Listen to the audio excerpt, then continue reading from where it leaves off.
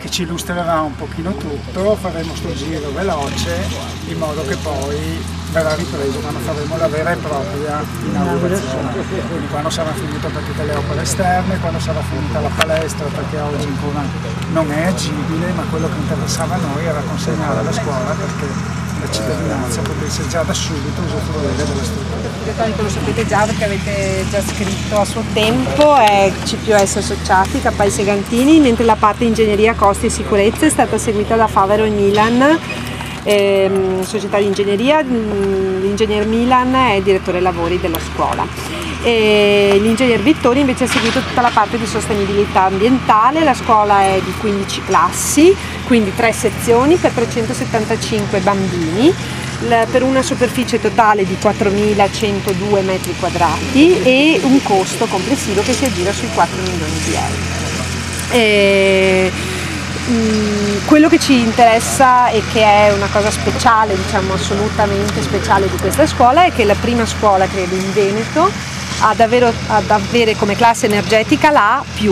quindi consuma pochissimo, consuma meno di 4 kWh mm, metro quadro annue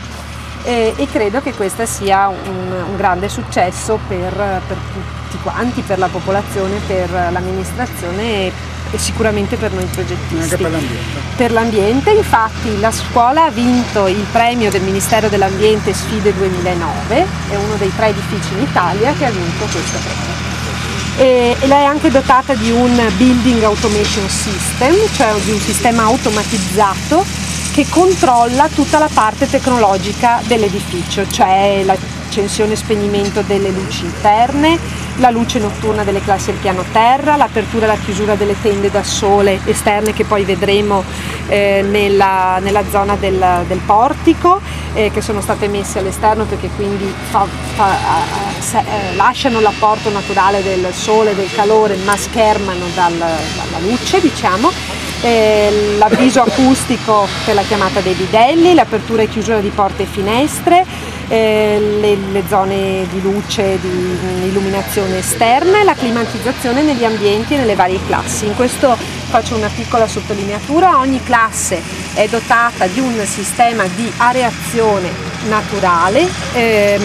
indipendentemente dall'apertura delle finestre. Quest'aria viene preriscaldata e questo permette quindi anche di risparmiare, preriscaldata d'inverno e preraffrescata d'estate. E tramite un sistema di canalizzazioni poi una volta usata esce, poi li vedremo in copertura, attraverso dei camini che praticamente eh, garantiscono sempre che le, le aule siano areate naturalmente e quindi eh, che l'aria primaria sia sempre presente nelle aule. Questo ovviamente eh, è un vantaggio dal punto di vista energetico perché durante l'inverno non è necessario aprire le finestre, anche se questa cosa è possibile, per areare eh, l'interno delle classi.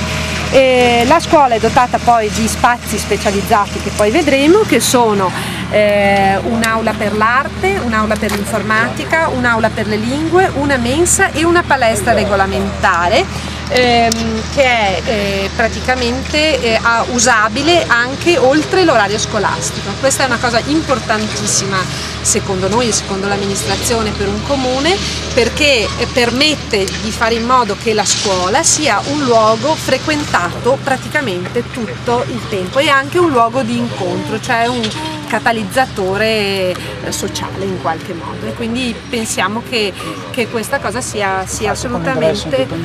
senza esattamente senza dover sporcare tra virgolette tutte le parti delle aule che invece quando finisce la scuola sono chiuse e così e penso di aver dato un'informazione di carattere generale. Poi se guardiamo gli spazi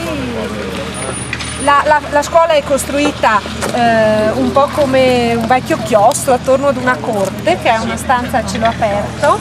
eh, con un tappeto morbido dove i bambini possono fare anche ricreazione oppure possono fare delle lezioni speciali e questa, questo argomento è tutto un, un lavoro che noi, eh, in particolare lo studio di architettura, sta facendo da una decina di anni sul, sullo spazio della scuola. Quindi è una scuola un po' pensata come i modelli nordici di sviluppo dello spazio.